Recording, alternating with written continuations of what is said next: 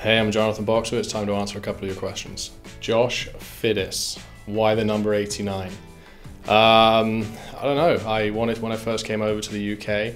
I wanted to wear 19, and uh, when I played in Nottingham, uh, the guy who played for the team the year before who wore 19 uh, had a really really good season, and he was a bit of a bit of a legend there. So I thought, you know, coming in as a rookie, that might be a bit of a bold move to come in and take that number. And uh, it's my birth year, so I thought, why not try that out, try something new, and uh, I enjoy it. Yeah, it's a bit different, so that was the main reason for that. All right, next question is from Lauren Craig. Uh, will you ever grow your hair long again? Uh, I think certainly at some point I'd like to to get some flow back and uh, grow it out. But uh, for the for the time being, I'm trying a new new hairstyle. I keep it a bit short, but I'm definitely going to grow the beard out. But uh, yeah, it's a pretty um, pretty easy thing to do. Grow your hair out and donate it. So maybe at some point, but. I think uh, I think I look look a bit more presentable with it with it nice and short. So uh, we'll have to wait and see.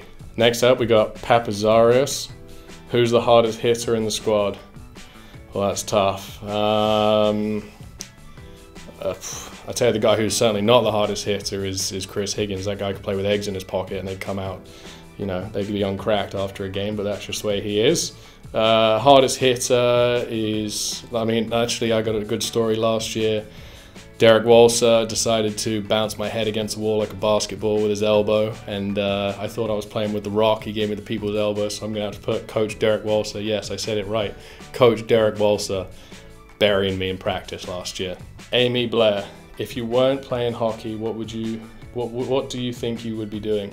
Um, I have quite a few interests away from the rink. Uh, I'm really into politics, and uh, there's a lot of interesting things going on at the moment. I did an internship a few summers ago at the House of Commons, which was uh, which was an experience for sure. But uh, eventually, I'd like to go into some form of banking, uh, commodity trading, and I'm really interested in green energy. So something along those lines, I think would be would be pretty cool. Um, but I don't know at this moment. Just uh, I like to travel and uh, play guitar and do things of that nature. So something along those lines for sure. Andrew Cadu, who would win a fight between Adam Keefe, Jim Vandermeer, or a kangaroo? Oh, I don't know. It depends how big that, that kangaroo was, but uh, I, I don't know. We'll have to. I don't know if I would have to see how the kangaroo would do, but Jim and uh, Adam are both um, very, very tough, tough guys, and uh, you know they're obviously they deserve a lot of credit for what they do out there. And obviously, there's a couple other guys on the team that are willing to step up and uh, protect protect the guys. And uh, it's the toughest job, in, in my opinion, in sports. So for those guys to to put their bodies on the line and do what they do to help and uh, protect us out there, they deserve all the accolades. So. I don't know about who'd win between Adam or Jim, and uh, I don't know what a kangaroo would be doing on the ice, so I don't know if I can answer that question.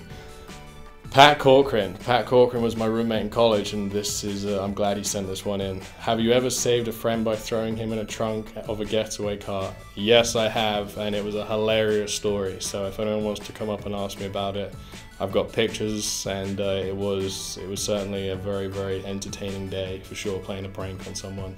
And yes, I have done that, Pat, and uh, I haven't forgot about it. Undead Desmirres. You never did explain this. Well, it's funny you say that because I was very close to wearing that hat for this interview. Um, it doesn't get enough FaceTime for sure, and it was involved in two incidents last year, which I can't say on camera, which kind of tainted it. Um, two guys that aren't with us anymore, but uh, left a forever lasting impact on that hat.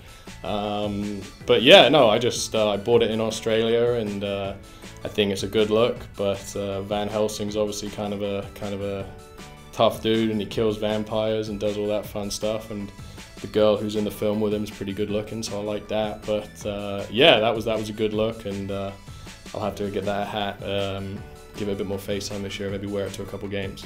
Jordan Patterson, what's your mindset during a game? Any pre-game rituals? Uh, certainly pre-game rituals. I'm one of the, you know, I like to get to the rink pretty early, about three hours before a game, and there's I wouldn't say so much rituals, they're just things that you just naturally find yourself gravitating towards, you know, a certain way. You may tape a stick, an ice bath, and uh, Austin with uh, the physio that comes in and masseuse and does certain things. And then just relax, really. I don't like to get too serious before games. I like to keep it pretty relaxed and uh, play two touch and have a lot of fun and dominate that because I'm pretty good at that. Um, and uh, during the game, just just really kind of stay focused. It's uh, it's some it's you don't want to get too too riled up and uh, let your emotions get away but it's it's good to play kind of on edge and be a competitor. So yeah during the game I'm definitely focused and uh, just trying to uh, you know maintain you know a calm calm frame of mind and uh, be positive out there for sure. Last question. Mike Radja. The Giants website says you're 178 centimeters. How many rolls of tape were in your shoe on weigh-in day well, unfortunately, Raj is very confused because uh, I am actually five foot ten, as much as hard as that is to believe. But um, there were zero rolls of tape, and I think if anyone needs to worry about tape, it's how much tape Mike Radja summer stocked last year.